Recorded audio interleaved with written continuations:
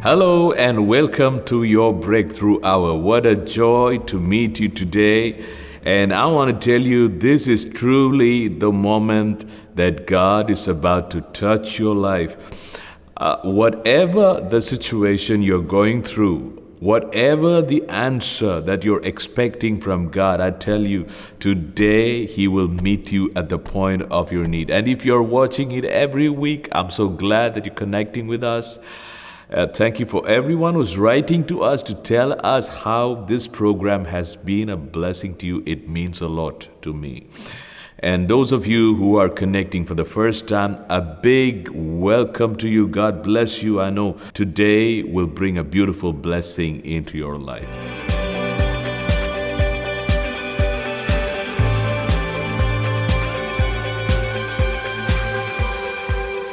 I want to talk to you on how to prevail in prayer.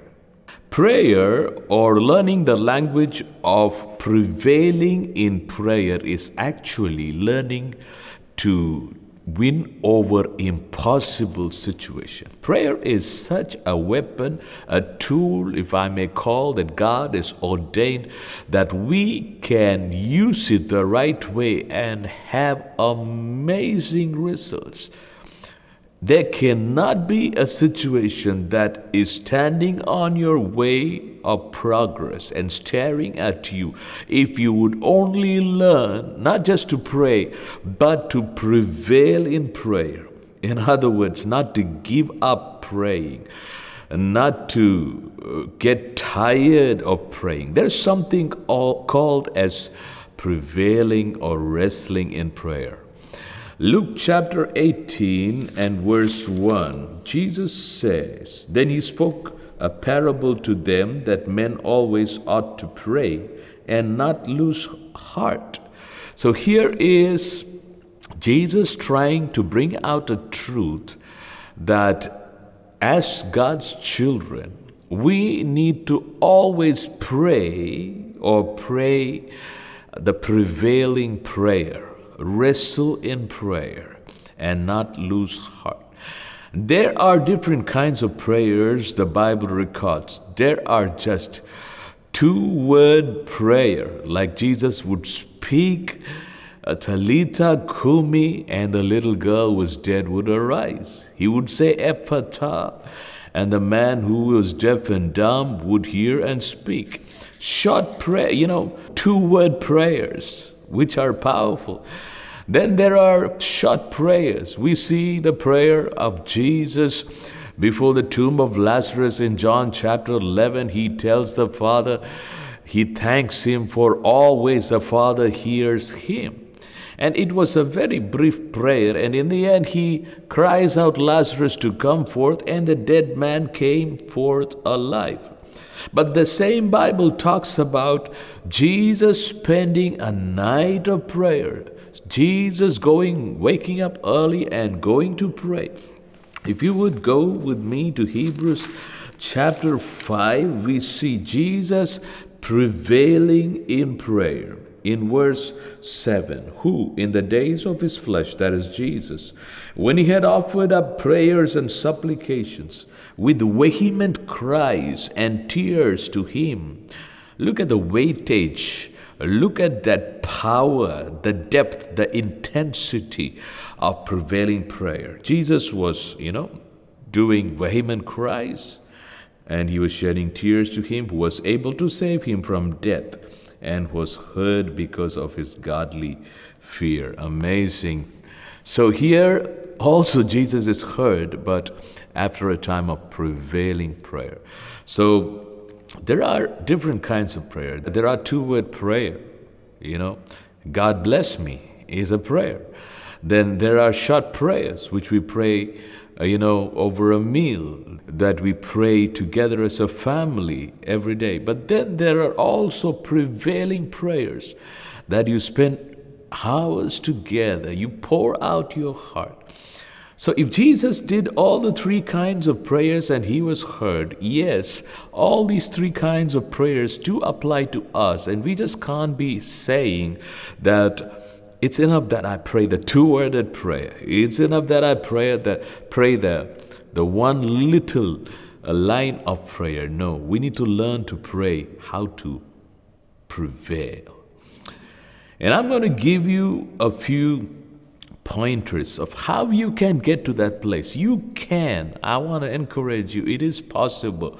You can get to that place of learning to prevail in prayer that no power of darkness, no powers, whether visible or invisible, can stand in your way. Today, I want to tell that you will progress as you receive these revelations on how to prevail in prayer. Number one, we need faith that does not give up to prevail in prayer. It's important that we need faith. Even in the same Luke chapter 18, Jesus talks about a judge who never feared God nor had respect for man. In the same city, there was a widow who was helpless, and her enemy had literally taken over her property or whatever belonged to her. Now, she had to go and get justice from the judge. But when she went, the judge never took notice, took care, considered her case. But then she knew one thing if at all there would ever be an answer, it has to come from the judge as a judgment. And then the enemy has to vacate the plot, has to give back whatever he has taken from her. So what she does is she went again and again and again. That is persistence. And she persisted, she endured, she did not give up because she knew if something had to happen, it had to happen through the judge. And finally, the judge yielded to her persistence and she received what she had lost. You know, Jesus says in Luke chapter 18, in verse 7, and shall God not avenge his own elect who cry out day and night to him, though he bears long with them? Verse 8 I tell you that he will avenge them speedily. Nevertheless, when the Son of Man comes, will he really find faith on the earth? So that's it. Jesus is saying, Your heavenly Father, who is not like the unjust judge, he is a loving Father, he is a caring Father, he is concerned about you. And you might ask, then why should I really persist in prayer? I can just make a small prayer and God can give me the answer. Yes, God can, but there is an enemy who wants to fight against that answer, wants to delay that answer. It's not that because God doesn't want to give you, but the devil wants to stop it, delay it. And that is why you need to pray in faith, not quitting. And I want to tell you, if you do not quit praying, the devil will quit and you will see your breakthrough. And that is the power of prevailing prayer, which is aided by faith. Faith that says, if God cannot do this, I cannot have this. So I have to persist and get it from God. If God is the only way that I can have the answer, then what am I doing without persisting in prayer? I'm getting to pray. I know when I was young, you know, and I was doing my uh, board exams at school, you know, we, uh, two or three of us, you know, gathered together and we wanted to do well in our exams and and in the night we used to gather together in a friend's house and my friend's sister, she also wanted to study well to do her exams to become a doctor. So she would put nice tea in a flask and, uh, you know, keep it there. And we used to study across the night and take the tea in between and drink and continue studying. And, and that's how we were able to fare well by the grace of God. And I want to tell you, if you can do that for studying, if you can, uh, you know, we hear of people who work overnight shifts. You know, if you can do it at work, why not you do it in prayer. You can spend a night of prayer all alone. It is possible. You can spend a day of prayer all alone. It is possible. Pray in faith. And that is how you prevail in prayer. Number two, another truth that we need to know about prevailing in prayer is when we pray, prevail in prayer, the Lord changes our lives and our attitudes. It's important that we allow God to touch our lives and to change our attitudes even when we prevail in prayer. Many times we want to pray prayers asking God, Lord, change my situation. Lord, change my problem. Lord, change my even the way my boss is behaving, my colleague is behaving, give me a new job. Lord, change this person, that person. You know, we pray all these prayers, but you know what? God is actually sometimes expecting us, uh, you know, and looking at us and saying, My son, my daughter, if you would only change, if you would change this part of yours, this attitude of yours, if you would let go that sin, if you would let go that hurt that has been caused by somebody, if you would just do this and humble yourself a bit, then I can change anything for you.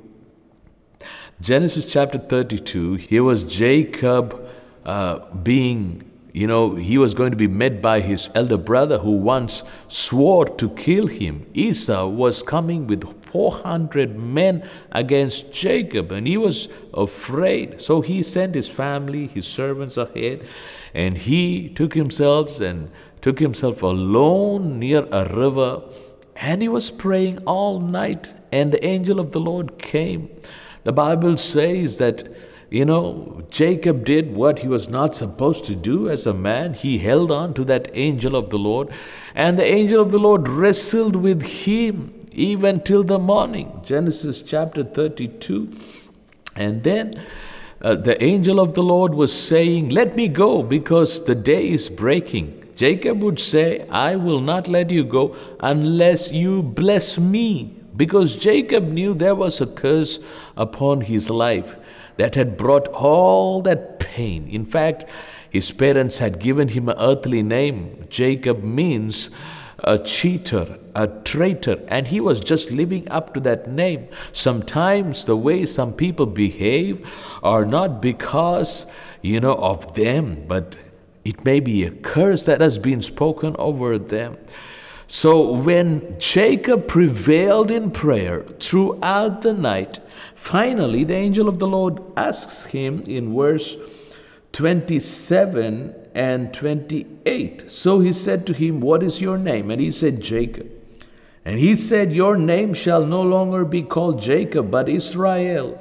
For you have struggled with God and with men and have prevailed. So God does something. He removes the earthly name which was a curse and renames him with a heavenly name which is which had the name of God inside of it Israel which means prince with God. What a beautiful name. From being cursed to being blessed by the change of a name. It was more than a change of name. It was a change of attitude. It was a change of identity.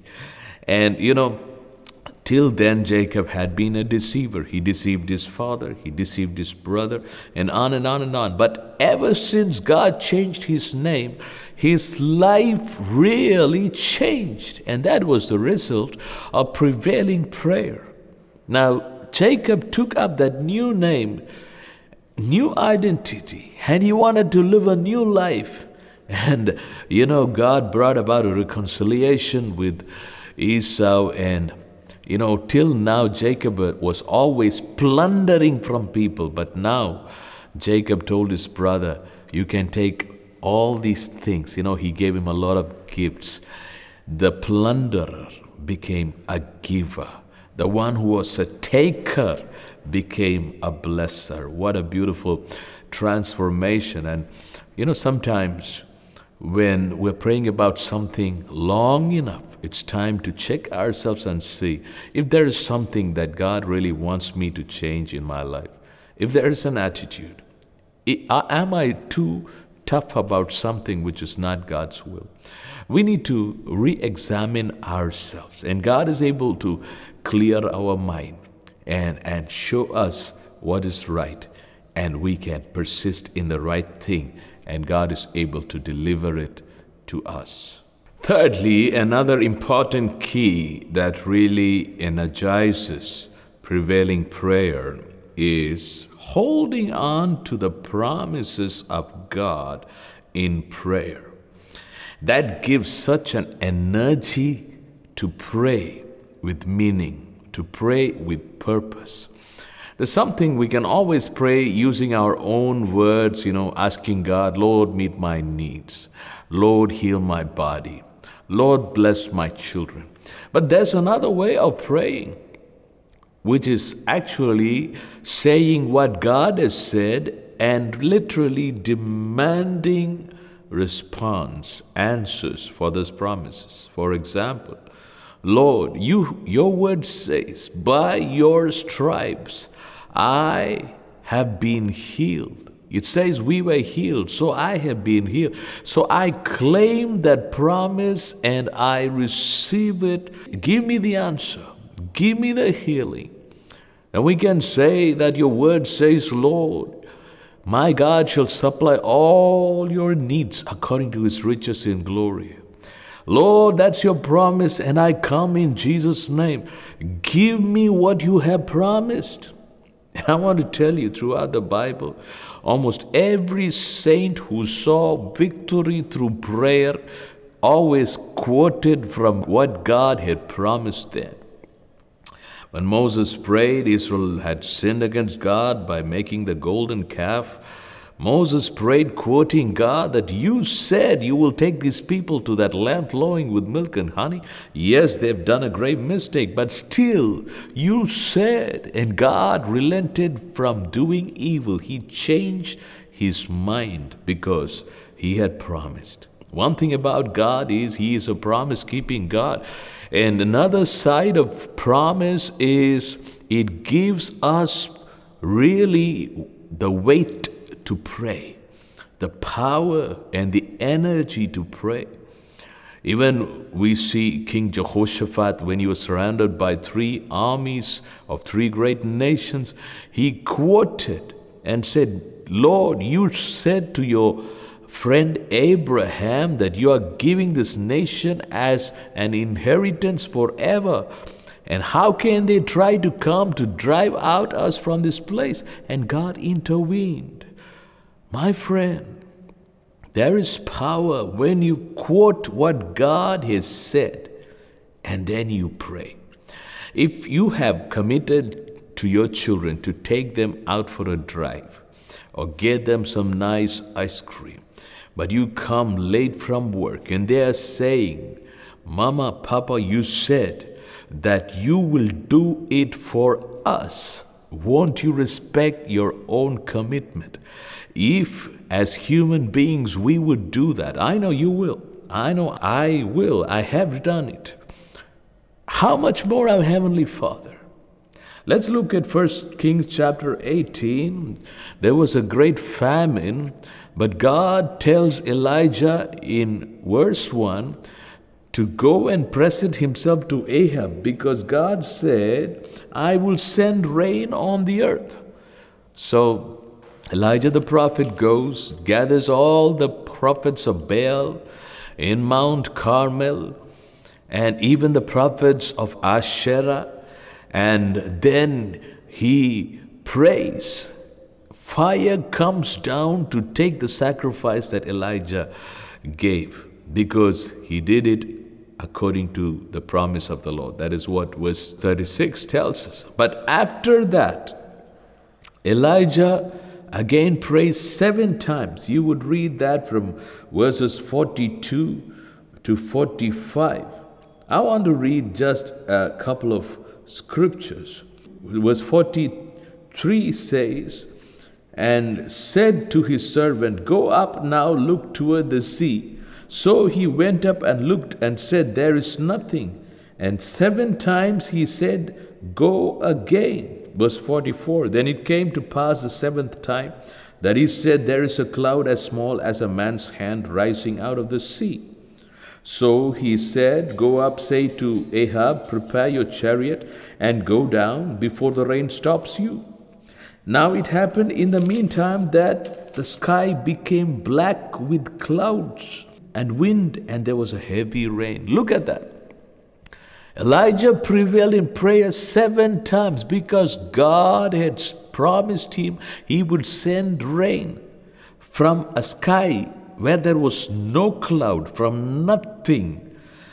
Before Elijah could finish his prevailing prayer, on his knees, the sky was filled with dark clouds. Yes, that's amazing. Because Elijah put his leverage, put his focus, put his onus on the promise of God. If God had said it, he would do it. And I'm going to storm heaven with my prayer. So many examples throughout the Bible. People who trusted in the promise of God and prayed vehemently, prayed with power, prayed energetically, and they saw breakthroughs. My friend, today is the day God's encouraging you, and I'm here as His servant, as your friend in Christ to encourage you not to give up heart, but begin to pray the prevailing prayer by faith. And even as you prevail in prayer, allow God to change you where He wants to change you. And then pray holding on to the promises of God. And when you do that, you are going to see answers. Your prayers will prevail. One final thing is we prevail in prayer by being filled with the Holy Spirit and pray in the Spirit. Romans chapter 8, verses 26 and 27. I'm not going to read it for you now, but it says that the Holy Spirit prays within us with groanings that can never be uttered. And that's a powerful way of praying. He prays when we allow, He prays with groanings, you know, prevailing prayer powerful prayer. Prayer that will touch the heart of the Father according to the will of the Father. Because it says in Romans chapter 8, verse 26, that there are times we do not know what to pray for. Maybe it's concerning your marriage, it's concerning your future, it's concerning a decision that you need to take, concerning a difficult situation. You don't know what to pray. Pray in the Spirit. There's power when we pray in the Spirit, pray in tongues. And that brings you to a place of breakthrough. Because when you pray in the Spirit, you pray in the will of God, and God will reveal you in due course what His will is. And He will make, you know, verse 28 when we pray in the Spirit, the end result is all things work together for good to those who love God as a result of prevailing in prayer. And that's going to be your testimony too. And God's going to bless you. And I want to pray with you right now and ask God to send a spirit of prayer upon you. It is a spirit. Zechariah, we read that he's a spirit of grace and supplication. He is a spirit of prayer. Shall we pray? I want you to lift your hands to heaven, across, even across this television screen, and I want to pray. Father, I pray for your child, your son, your daughter, today with whatever need they have. We come to you in prayer. And prayer is such a tool that you've given to us that when we learn to prevail in prayer, there can never be something called as impossibility because impossibility gives way to possibility and mountains depart and ways are made in between those mountains. So i pray in jesus name today send a mighty anointing upon your son upon your daughter the spirit of prayer to come and rest upon them in a powerful way. That wherever they feel tired, exhausted, feeling like give up, giving up, whether it's a health condition, whether it's a family situation, a financial situation, a struggle that's been they've been facing in life, a marital issue, in Jesus' name, may the spirit of prayer take over your child. That from this day, as they begin to pray, may mountains give way in Jesus' name for divine destiny. Lord, may solutions come to problems that have been lingering for a long time.